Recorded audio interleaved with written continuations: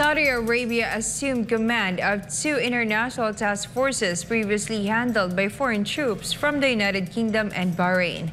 Melchizedek Cadiz has the details. Earlier this week, the Saudi Arabian Navy officially took over the command of Coalition Task Force Sentinel from the British Royal Navy and the control of Combined Task Force 152 from the Bahrain Royal Naval Force through a handover ceremony.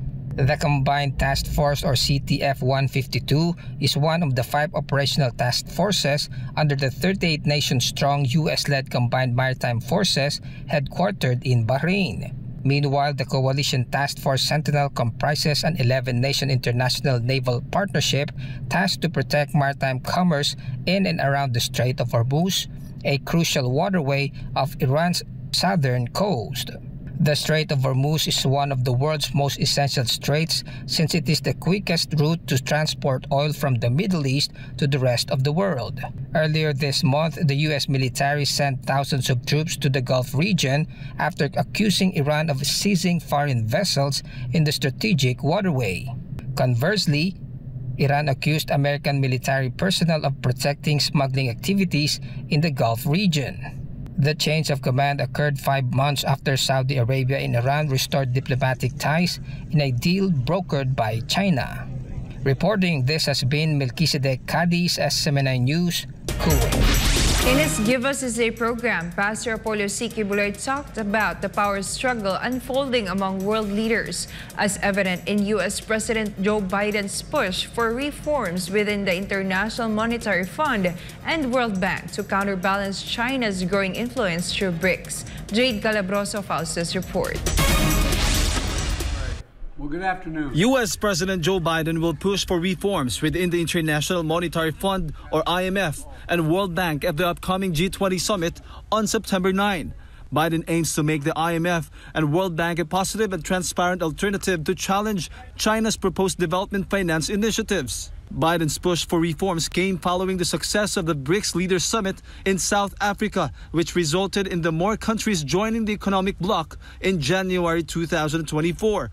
These countries include Argentina, Egypt, Ethiopia, Iran, Saudi Arabia, and the United Arab Emirates. This move brings six of the world's largest oil producers into BRICS, and negotiations among these nations are expected to use their respective national currencies, posing a significant challenge to the US dollar.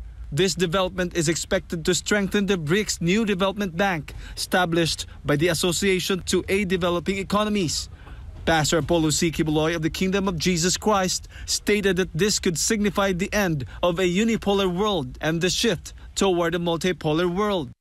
Yung G20 or a group of 20 is made up of Argentina, Australia, Brazil, Canada, China, France, Germany, India, Indonesia, Italy, Japan, Mexico, Russia, Saudi Arabia, South Africa, South Korea, Turkey, UK, US, and the European Union. Yung BRICS is composed of Brazil, Russia, India, uh, China, and South Africa. At marami pang mga bansa yata ang sumasapi ngayon sa BRICS. Ano?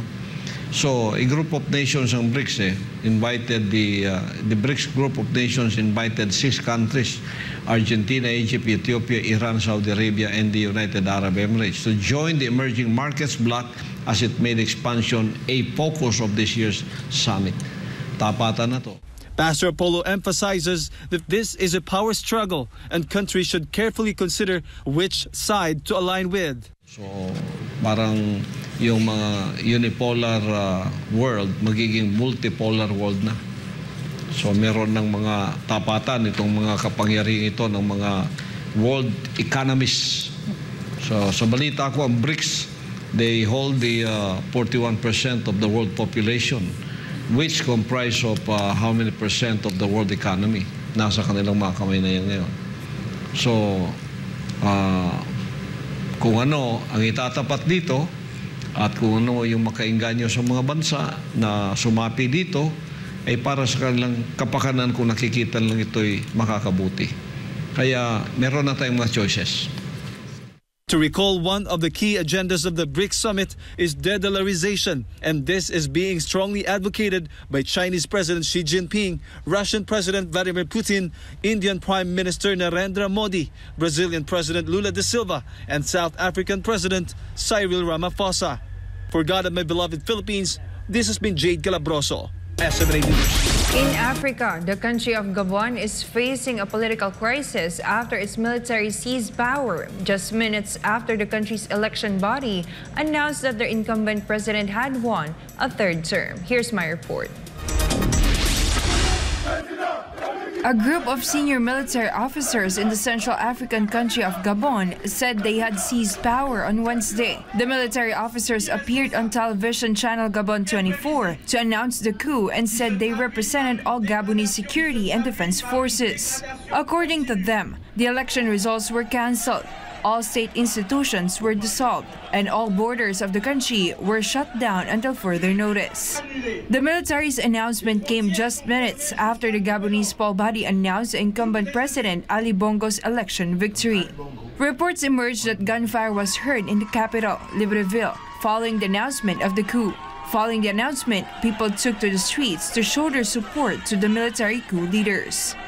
Gabon is a small but oil-rich African country. It is the fifth largest oil-producing nation in Africa, and its government is a member of the Organization of the Petroleum Exporting Countries, or OPEC. The recent election victory of 64-year-old Ali Bongo would have been his third term as the president of Gabon. He won 64.2% of the votes in elections. Bongo was elected for the first time in 2009 after the death of his father, Omar Bongo Ondimba, who had been the president of Gabon for four decades. Meanwhile, the coup gained various reactions from the international community, particularly from its former colonial ruler, France, with Prime Minister Elisabeth Borne saying that they are following the situation closely. China also said it was closely following the situation and urged for the safety of Ali Bongo to be guaranteed. The Gabonese coup, if proved successful, would be the eighth coup in West and Central Africa since 2020, with the latest one held in Niger in July of this year. The military officers of Burkina Burkina Faso,